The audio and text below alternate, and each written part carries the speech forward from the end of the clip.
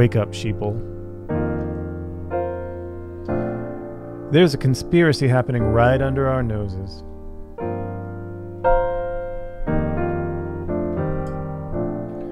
A conspiracy being perpetrated by the big Harmony corporations. See, Big Harma, they don't want to share all the good transitional chords. Oh, they'll give us the one and they'll give us the four. They'll give us the six. Heck, they might even give us the five.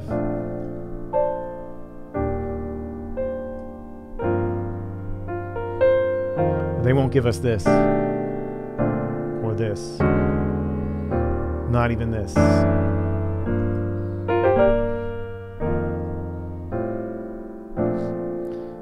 There's too much money at stake.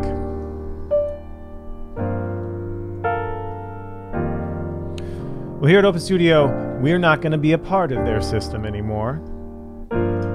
That's why today, we're talking about the juicy transition chords. My name is Adam Maness, and we are talking about the juicy transition chords. We're really talking about going from one diatonic chord to another diatonic chord and using a different transition chord in between. It's super fun and super helpful and super functional when we're playing literally any song from literally any genre. We can add a lot of spice using these juicy transitional chords. Per usual, we're sponsored by Open Studio. Go to openstudiojazz.com to find out more about all of this. There is a PDF for this video. You're going to want to download that as it has all of the examples and the exercises, uh, plus the real world tune examples that we're going to be using for each one of these. You don't want to miss that. Check out the description below. So today we're really going to be playing some ear training games. We're going to be going from one diatonic seventh chord to another. So in the key of B flat, which is what we'll be in, we'll go from say B flat to the two chord C minor 7. However, we are going to throw in some juicy transition chords. From the B flat to the C minor, we can throw in the secondary dominant, we can throw in the tritone sub, and then one more surprise chord at the end that I think you're going to like a lot. It's a Juicy Lucy. Before we start the ear training, let's just establish what a diatonic chord is. In the key of B flat, we take the B flat major scale, and we just skip a note, we get a lovely B flat major 7 chord. If we move all four of these notes up the B flat major scale, we get the 2 chord, the C minor 7. We call this the 2 because it's built off the second degree of that major scale. If we move that up, we get the 3 chord, D, F, A, and C, right? If we move that up, we get the 4 chord in the B in the key of B flat, that's E flat major 7. If we move that up, we get the 5 chord F7. If we move that up, we get the 6 chord G minor 7. And finally, if we move those four notes up, we get the 7 chord A minor 7 flat 5. So these chords are so crucial to know in every single key. You should be able to recognize a 2 chord, a 6 chord, a 4 chord, a 5 chord in every key uh, pretty quickly if you want to be able to navigate most music. This is sort of the, the building blocks of that. Now, our first juicy transition chord is the secondary dominant. A secondary dominant is literally putting a dominant chord before any chord, really, but especially here, these diatonic chords. So here's the difference between having this juicy transition chord and not having the juicy transition chord. If we go from the one, B flat major, to the six, right? That's beautiful. And maybe that's what the tune calls for. Uh, but as improvisers, right? As, as, as we're improvising this harmony, we could throw in the dominant chord to the G7. This is a secondary dominant. This isn't in the key of B flat at all, right? It's a D7 going to a G minor, right? It's the 5 of G minor, the dominant 7th of the 5 of G minor, right? The the D is a fifth above the G. It creates that lovely tension and release. So we can throw that in and we get this gorgeous sound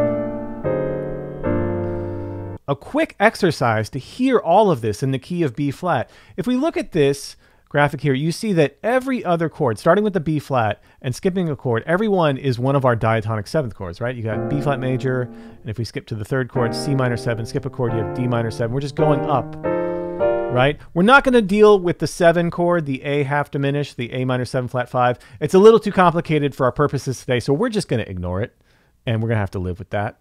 Okay, so check this out though. We can throw in a secondary dominant before each one of these diatonic seventh chords. Right? G7 is the five chord of what? C minor 7. A7 is the 5 chord of what? D minor 7. B flat 7 is the 5 chord of E flat major 7. C7 is the 5 chord of F7. D7 is the 5 chord of G minor 7.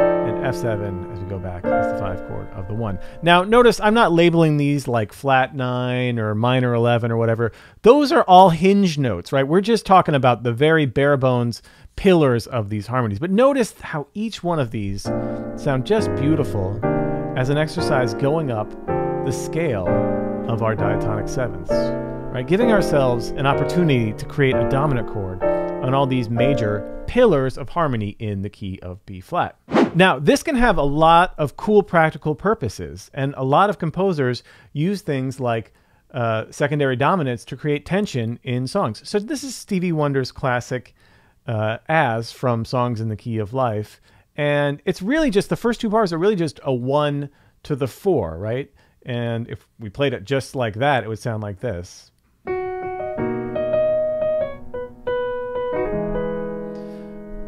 Fine, but it's kind of boring. Stevie Wonder, however, the harmonic genius that he is, he, uh, halfway through that first bar, he takes the tonic here, which in this case is a B flat major 7, and he turns it into a dominant. As soon as this becomes a B7, it's now a secondary dominant going to the 4, right? So it adds this layer of tension, this voice leading to the 4, and it makes such a huge difference in the tune. It's so gorgeous. Okay, so here's what we're going to do. In the key of B flat, I'm going to play a B flat major 7. And I'm going to play two more chords. We're going to have a target chord at the very end Let's say it's this chord. And then we're going to have a juicy transition using a secondary dominant getting there. So can you hear the secondary dominant and then the diatonic seventh that we're going just going between two diatonic sevenths with this transition chord between. And the transition chord is a secondary dominant. Can you hear it? I'll play it one more time. First chord is B flat major 7. What are the next two chords?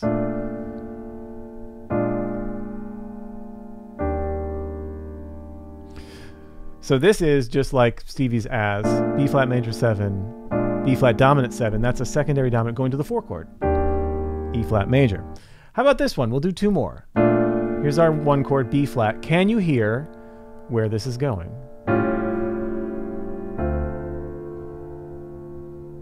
So we're going from one diatonic seventh chord in the key of B flat to another using a transition chord, a secondary dominant. Listen to the root movement.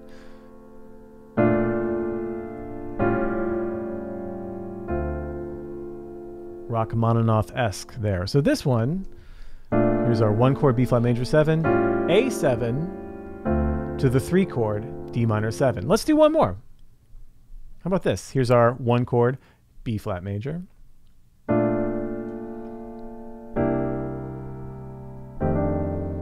It's a pretty one. Let's try it again. Here's our B flat major. Can you hear the next two chords? One more time.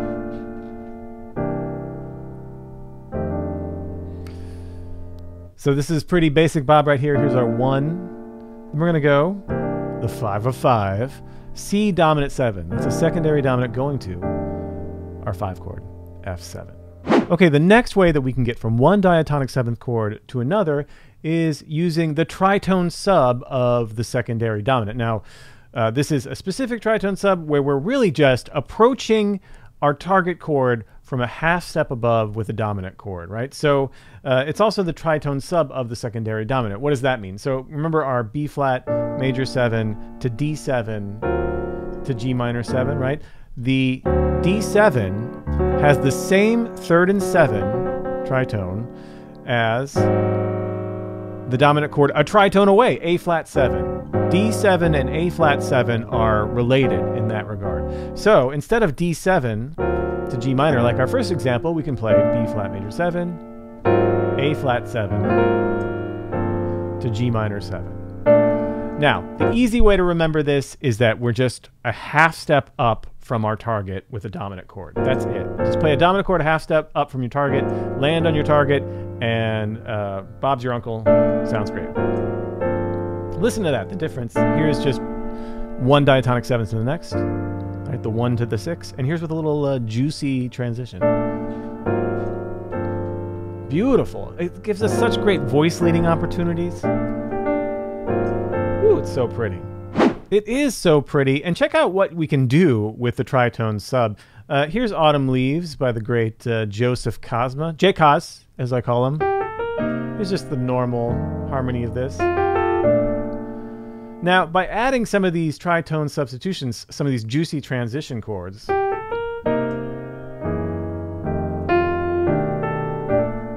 we get so much tension and movement. A lot of musicians will play this, something like this, right? you can actually keep going.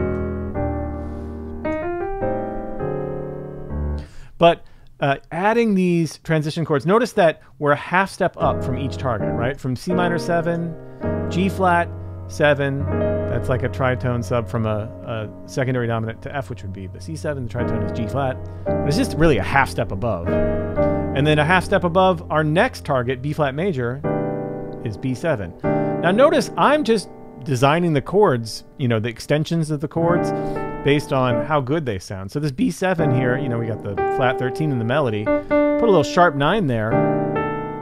Sounds great to me. So check that out one more time. Juicy. And just as before, we can walk up our diatonic seventh chords by using some tritones as the transitions. This little exercise, again, is so handy. Instead of the secondary dominants, we do the tritone subs. How great is that? Oof.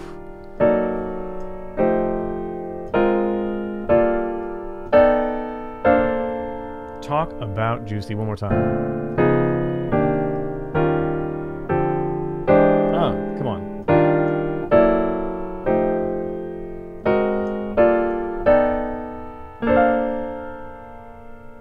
Gorgeous. Okay, let's do that same ear training exercise. I'm going to start on the one chord, B flat. I'm going to take my keyboard off. And I'm going to go to just another diatonic seventh chord, but this time I'm going to transition using the tritone sub. We'll do three examples. See if you can hear where we're going and how we get there. Here it is again. Listen to the root movement. Last time. Here we're going from B flat major 7. We're going to go to the 2 chord. We're going to get there with the tritone sub, D flat 7. Beautiful, eh? Let's do a couple more. Here's our B flat 7. What's going on here?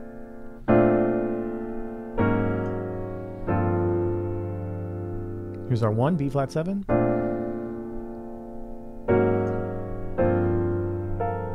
Beautiful. One more time. Listen. Got it? So here we're going to the sixth chord using the tritone sub A flat 7. I used a little A flat 7 sus, a big thick G flat over A flat. It's a dominant chord for sure. Let's do one more. How about this?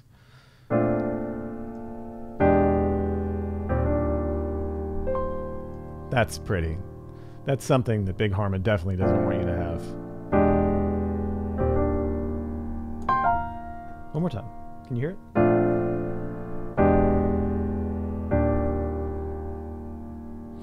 So check it out. The most common progression. One to the four. Using that half step above tritone sub to get there. Again, you know, so useful even if you were just playing, you know, something simple as like something a pop song even from 1 to 4 using that tritone sub as a way to sort of mix it up can be so handy. If this kind of stuff is your jam, why not hit the like button? If this is your first time on the channel, please hit the subscribe. It really helps us grow the channel. We appreciate all the subs we can get. All right, let's get back to it. Our final juicy transition is a Juicy Lucy. Shout out to Prince. and shout out to Steely Dan. This is the Mu major chord. Uh, it's really just a major triad with the added two over the third. You know, that old chestnut. Uh, but no, seriously, again, we're going to use uh, our one to six chord progression here. That's just diatonic. Sounds pretty good. But we could add this mu chord. I'm not sure why it's called the mu. I don't think anybody is. But really, all it is is a major triad over the third. So remember, we went to originally D7 to get to our G minor. Well, instead of just straight up D7 or its tritone sub A flat 7, we could do D over F. Now, you don't want to double the third uh, if the third is in the bass. That's like classic mistake uh, for, for voicing. It really just cancels out some really rich uh, tones in the chord. And so we don't want to play the third in the chord itself. But what sounds great in the th- besides the third is the 2. We already have the third in the bass. We do not need it up here in the chord. So adding that 2, I got the 5 doubled. 5 sounds good. Five's not in the bass. That is nice, right? So again, it's really just acting as a 5-1, the 5 of G minor 7, just with that third of the 5, F sharp, in the bass. And that mu is such a specific, you know, it's a very modern sounding transition. Isn't that beautiful? It's a great way to get from one to the other. And like all of our juicy transitions, we can actually practice this using our diatonic seventh scale, right? So if we go up the scale, but we add our little mu chord, you're to love this. Watch this.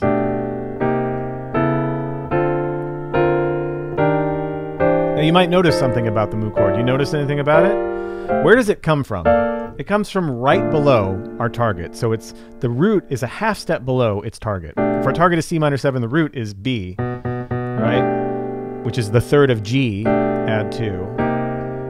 So I have these in these little inversions here, right? We have the the root, the fifth, and the 2 in the right hand, and the third of the chord in the left hand.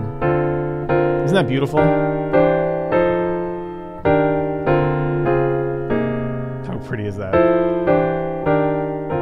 know what I'm saying? Little Deacon Blues. Thank you, uh, Steely Dan.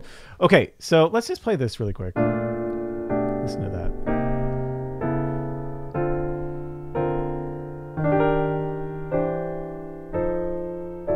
Again, just going up the diatonic seventh chords. I mean, we're skipping the A half diminished because we are. Anyway, so, so beautiful. Okay, let's see if we can do the same thing. Here's our one, B flat major seven.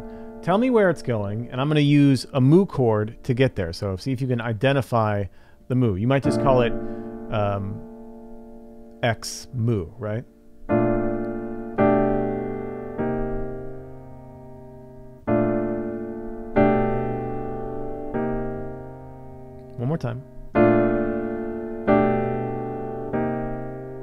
So here we have B flat major 7, the G mu chord, right, which is really G add 2 over B going to C minor 7, the 2 chord.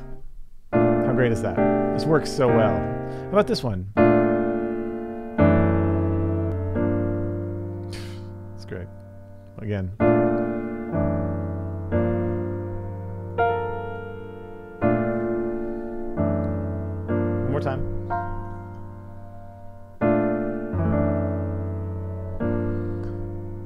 So here we have B flat major, the D mu chord, or D add 2 over F sharp, which is just a mouthful. I like to say D mu. Fun. D mu.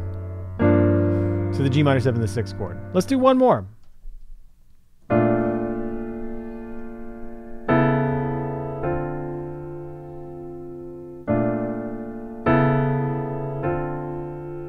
It's a great dominant chord, the mu chord. So much interesting voice leading happening with it. One more time. What is this one?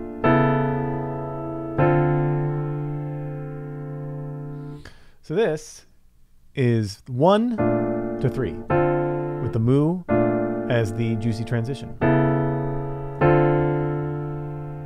Okay, let's do one more ear training exercise. For this one, I'm going to tell you what the progression that we're doing is. You're going to have that. We're going to do a 1 6 2 5. B flat major, G minor 7, C minor 7, F7. Super common chord progression.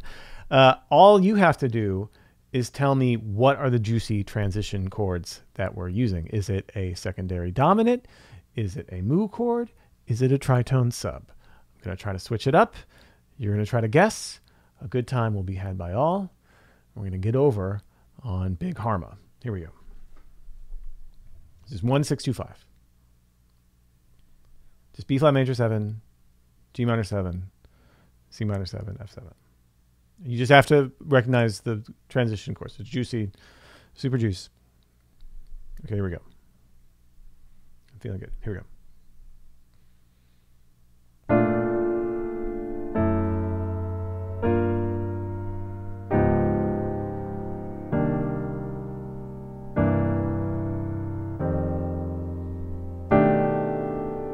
Again.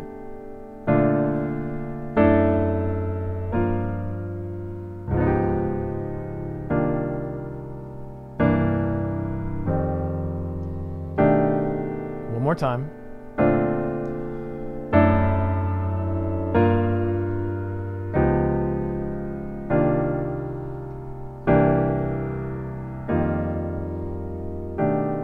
One more time for real.